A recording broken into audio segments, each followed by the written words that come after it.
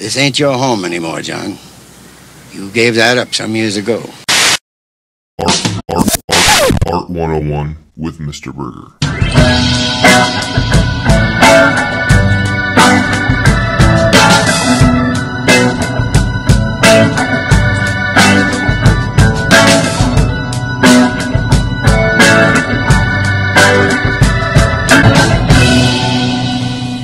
Scholars, welcome back to Art 101 with me, Mr. Burgher. I'm a professional artist and master educator attempting to provide you with the best in art historical content.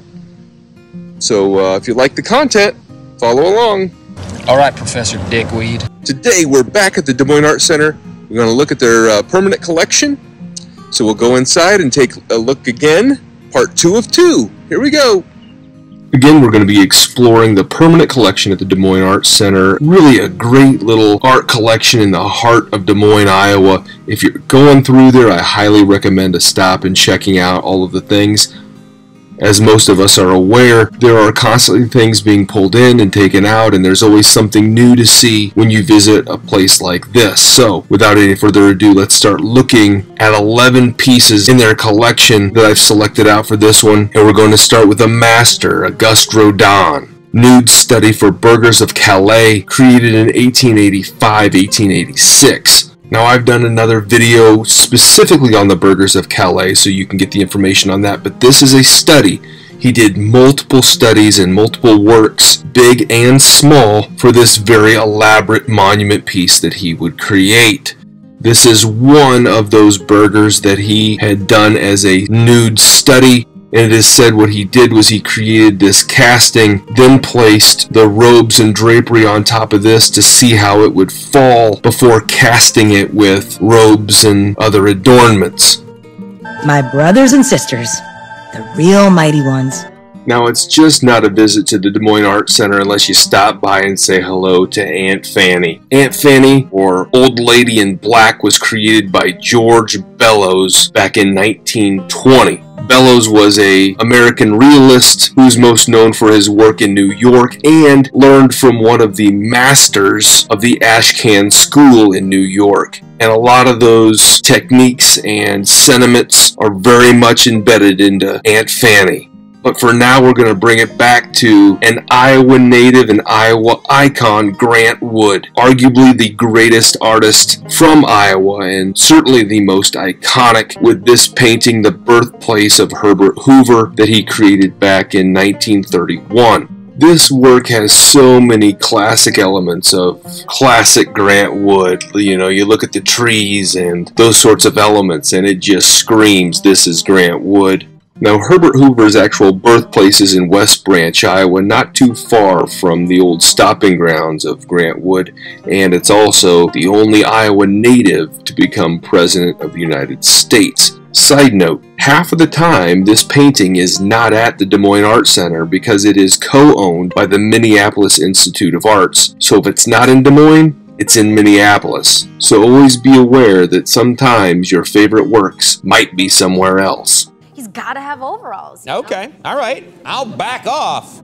Francis Bacon, a prominent surrealist who created some of the most interesting and unique pieces of the 20th century, also is known for creating study after Velasquez's portrait of Pope Innocent X. Like so many artists across time, Bacon was very much influenced by Diego Velasquez's 17th century artworks, including this portrait from 1650 of Pope Innocent X but there are subtle little things that are very unique and very different. You know, you look at the mouth and the glasses or the monocle that's on the face of Pope Innocent, which clearly wasn't there.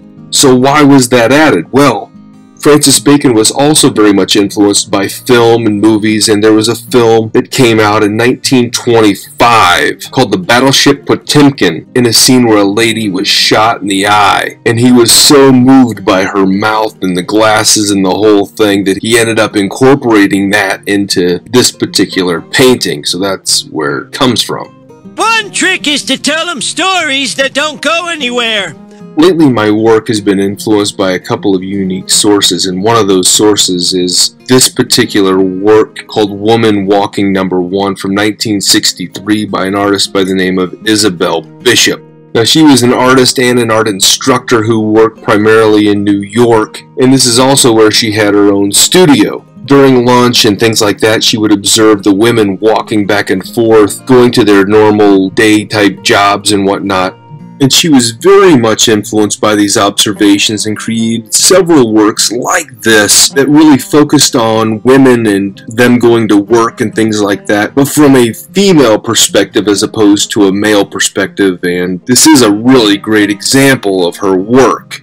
Now, Joseph Beuys was a German artist, theorist, educator, and so on and he would create this particular work in 1974 called Energy Plan for Westman. And it's a big piece of slate with chalk on it. And during this particular time period, his work, his art, his teachings, his political beliefs, and so forth were all kind of fused together. And at this time, he was doing a lot of performance art pieces. And one of the performances that he would often do was in a lecture sort of format, and he began to save the chalkboards that he would use during the lectures and then preserve those and essentially use those as a piece of physical artwork. This particular lecture was from the Minneapolis College of Art and Design during his first trip to the Americas, and we can kind of see his thought process and how he would fuse different ideas and things like that together in this very unique piece of artwork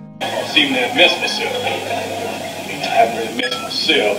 I. Now we're on to Jean-Michel Basquiat this untitled work from 1984, which really focuses on this pop art type theme that is a commentary on American consumerism, and it's got this undertone of slavery to it we see the words sugar and tobacco placed on there with this very iconic figure, this skeletal type figure.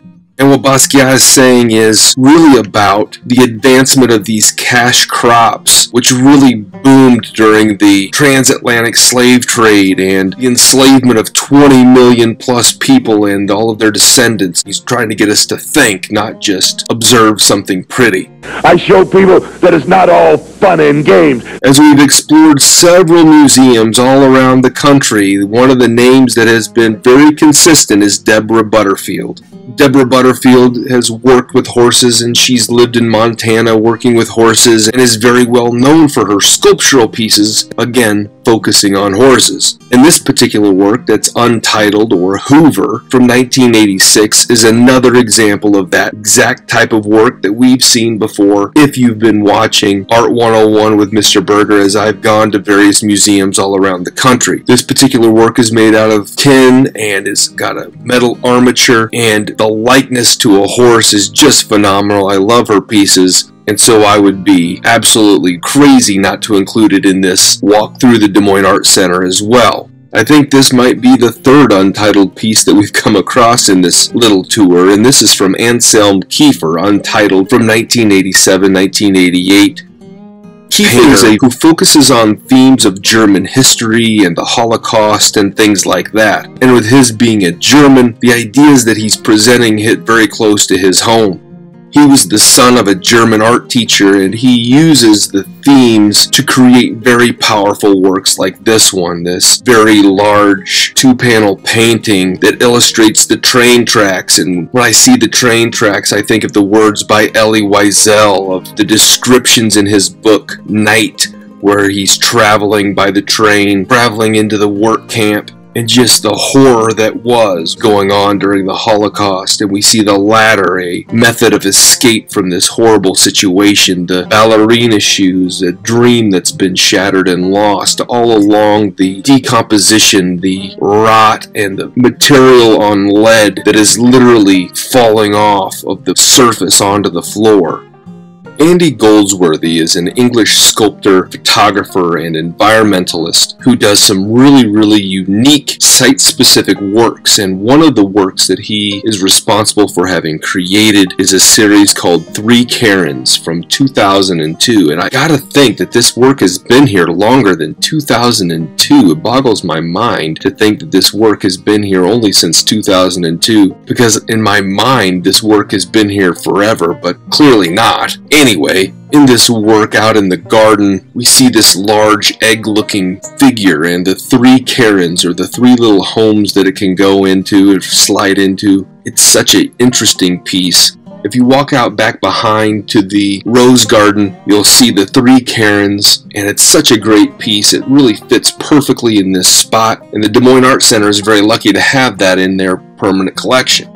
Kiki Smith is a contemporary artist that works with a lot of different themes from sex, birth, and regeneration, and this is kind of one of those. Bandage Girl from 2002. In this particular work, as she does with several other of her works, she creates these presentations of humans where their form and the elements and the power of the messaging is really in your face. She works a lot with the female form, and this is no exception. We can see the bandages around her. We think about what these bandages mean. What is the story? And the power of these works, the power of her work in general, is so in your face. You just have to pay attention and look and observe, and you want to see the front, the back, the sides. You want to see the whole thing to really get a clear idea of what's going on. And this is one of the more powerful pieces now, before we get out of here, I want to give you one last piece of information on the building itself.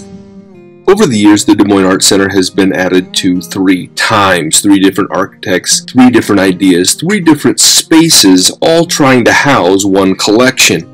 Back in 1966, the Des Moines Art Center was getting ready to expand once again, and they went to one of the most prominent architects of the time, I.M. Pei, the Chinese American artist who is probably best known for his work at the Louvre, and they would commission him to do this addition completed in 1968. Now, one of the most interesting things in my mind is when you go to the back and you're standing in the rose garden and you look back at the building, you can see his signature, Pei, right across the windows of the Des Moines Art Center itself. The artist truly has signed his work in this situation. I appreciate you following along and uh, taking a look at this uh, private collection again at uh, the part two of two here. And uh, we'll see you on the next one. You have a good day.